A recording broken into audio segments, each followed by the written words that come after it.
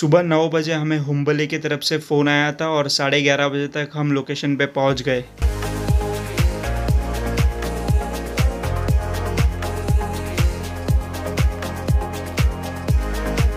अब हमारे पास इंटरव्यू लेने के लिए सिर्फ़ और सिर्फ़ 20 मिनट थे और without any preparation first time हम इंटरव्यू लेने जा रहे थे। देख सूरज इंटरव्यू में कुछ भी नहीं रखा है नेटवर्क मार्केटिंग करते, दोनों भाई मस्त कमाएँगे। देख, मेरे दोस्त ने तीन गाड़ी खरीदा है, सिर्फ़ तीन जन को ज्वाइन करना है और उनको बोलना है, आगे भी ज्वाइन करो। नए बिज़नेस की तो बात की थी कॉफ़ी पिला के घर भेज रहा है।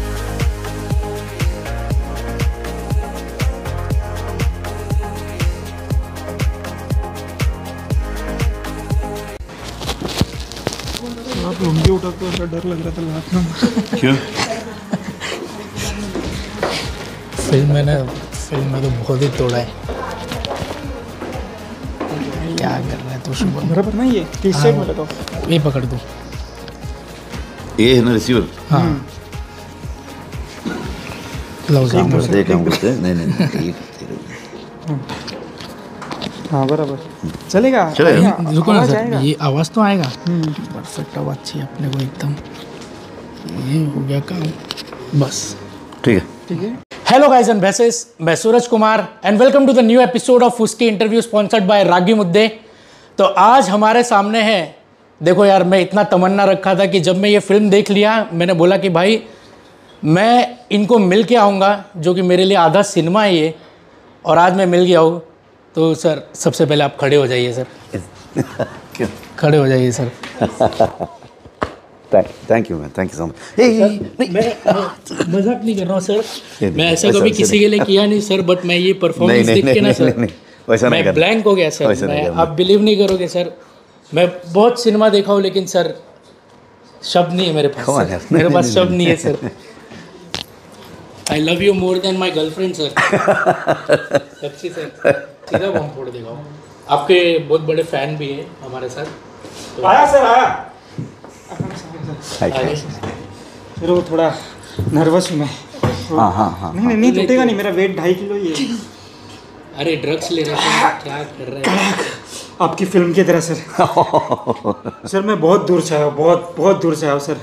बस ये दो बिल्डिंग छोड़ के आया मैं। तो सर मैं ये पूछ रहा था कि थोड़ा बहुत प्रिपेयर किया था लेकिन मैं थोड़ा ब्लैंक हो गया हूँ सर। लेकिन आपको देखने के बाद ऐसा लग रहा है मैंने आधा सिनेमा देख लिया है।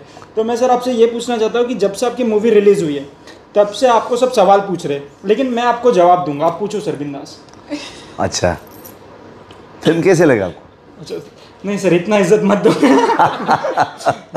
नहीं सर मेरा यही था कि जैसे आपकी ये फ़िल्म आई तो यहाँ के लोगों को मालूम पड़ गया कि ऋषभ शेट्टी कौन है। पहले कम लोगों को पता था लेकिन अब काफ़ी लोगों को मालूम पड़ गया। तो आपके नाम से कन्नड़ सिनेमा को आप रिकॉग्नाइज कर रहे हैं।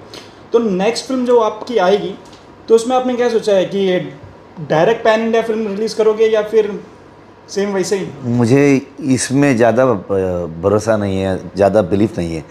ये pan India pan India I always felt Indian cinema so Indian cinema में हम रीजनल अभी कनाडा का बोलते हैं नहीं तो तमिल तेलुगु मलयालम या हिंदी सब दूसरे दूसरे प्रांत को लेके उधर का जो कल्चर उधर का रूटेड स्टोरी लेके लोगों को बताना है so that people will like that ठीक वो सोच है मेरा।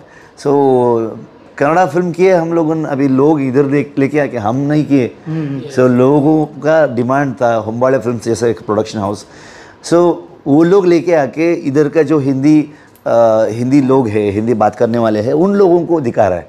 सो so, मेरा हमारा क्या है? मतलब हम जस्ट कन्नड़ा फ़िल्म किए।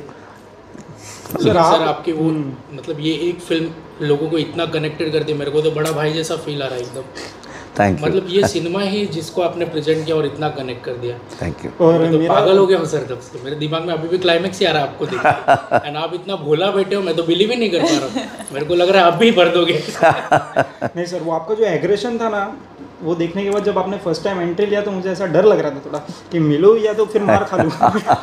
मैं मेरा आपसे एक सवाल है। सवाल नहीं मतलब शादी का प्रपोजल है। नहीं मिलाना है मैं पूछ के आया था। अच्छा मैं तो जिस हिसाब से मैम ने फ़िल्म में आपको इंटरवल के क्लाइमेक्स के टाइम पर सपोर्ट किया। वो सीन देखने के बाद मुझे जब मेरी वाली ने धोखा दिया था ना तब से इधर दर्द हो रहा है सर कि ऐसे लोग आज भी सिर्फ़ फ़िल्मों में हैं कि एक्चुअल लाइफ में भी ऐसा कोई आपको सपोर्ट किया है? हाँ है ना? मतलब मेरा भी मेरा बीवी है। बीवी, हाँ, हाँ पूरे पिक्चर में ऐसा किया। सो दो दो बच्चे को पाल के।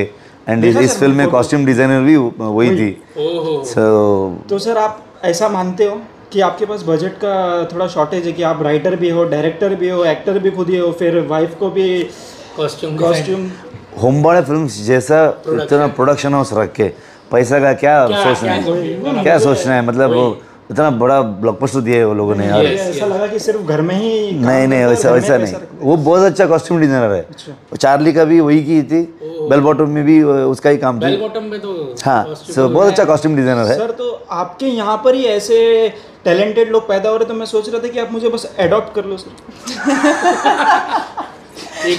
ऐसे पिक्चर करके जा रहा हूँ मैं घर नहीं जा रहा हूँ ऐसा इतना साल से काम कर रहा हूँ। मोस्टली मेरे को घर से बाहर निकलेंगी तो आप लोग मुझे अडॉप्ट करना पड़ेगा। नहीं नहीं सर आप यहाँ आ जाओ हमको कोई इशू नहीं नहीं सर ये एट द एंड आप नोटिस नहीं कर रहे हो ये इसका एक मतलब प्रोफेशनल भीख मांगने का तरीका और कुछ नहीं। वो तो सर क्या है पता है वो थोड़ा फटा विटा मांगते हैं ना तो लोगों को ऐसा चीप लगता है लेकिन ऐसा प्रोफेशनली ना दे भी देते लोग कि यार बड़ा आदमी दे दो तो अपना काम चला जाता है सर। तो चलता हूँ मैं सर।